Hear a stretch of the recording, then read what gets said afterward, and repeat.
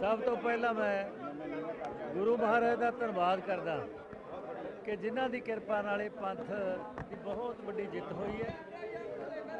ਗੁਰੂ ਮਹਾਰਾਜ ਤੋਂ ਬਾਅਦ ਮੈਂ ਜੋ ਸਾਡੇ ਮੈਂਬਰ ਐਸਜੀਪੀਸੀ ਸਹਿਬਾਨ ਨੇ, ਉਹਨਾਂ ਦਾ ਧੰਨਵਾਦ ਕਰਦਾ, ਜਿਨ੍ਹਾਂ ਨੇ ਕਿ ਸਾਰੀਆਂ ਸਰਕਾਰਾਂ ਨੇ ਭਾਵੇਂ ਉਹ ਆਪ ਵਾਲੇ ਸੀ, ਕਾਂਗਰਸ ਵਾਲੇ ਸੀ, ਬੀਜੇਪੀ ਵਾਲੇ ਸੀ, ਸਾਰਿਆਂ ਨੇ ਹੀ ਜ਼ੋਰ ਲਾਇਆ।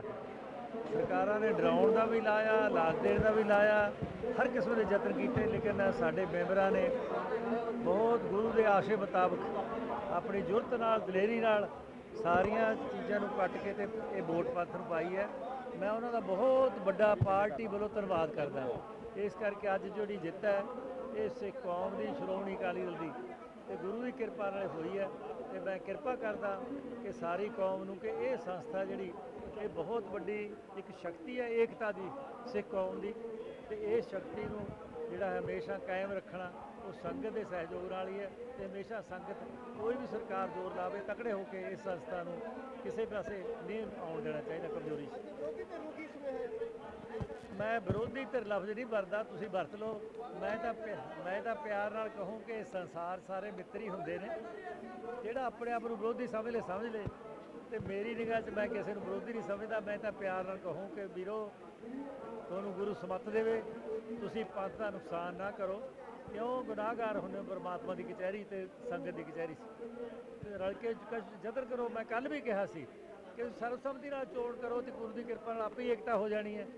ਤੇ ਅੱਜ ਵੀ ਤੁਸੀਂ ਸਵੇਰ ਮੈਂ ਜਦੋਂ ਕਿਹਾ ਕਿ ਗੁਰੂ ਕਿਰਪਾ ਕਰੇਗਾ, ਜਿੱਤ ਹੋਏਗੀ, ਤਾਂ ਮੈਂ ਨਾਂ ਨਹੀਂ ਲੈਂਦਾ, ਤਾਂ ਉਹਨਾਂ ਨੇ ਕਿਹਾ ਕਿ ਝੂਠ ਬੋਲਦੇ ਆ। ਹੁਣ ਤੁਸੀਂ ਦੇਖ ਲਓ ਭਾਈ, ਮੈਂ ਤੁਹਾਨੂੰ ਬਤੌਰ ਕਾਰਜਕਾਰੀ ਪ੍ਰਧਾਨ ਹੈ ਤੁਹਾਡਾ ਪਹਿਲਾ ਇਮਤਿਹਾਨ ਸੀ ਜਿਹਨੂੰ ਤੋਂ ਜਿੱਤ ਹਾਸਲ ਹੋਈ ਹੈ ਤੇ ਇਹ ਮੇਰਾ ਇਮਤਿਹਾਨ ਨਹੀਂ, ਇਹ ਸਾਰੀ ਪਾਰਟੀ ਦੀ ਸੀ। ਸ਼੍ਰੋਮਣੀ ਅਕਾਲੀ ਦਲ ਦੀ ਜਿੱਤ ਹੈ। ਇਹ। ਸ਼੍ਰੋਮਣੀ ਅਕਾਲੀ ਦਲ ਨੇ ਮਿਹਨਤ ਕੀਤੀ ਹੈ।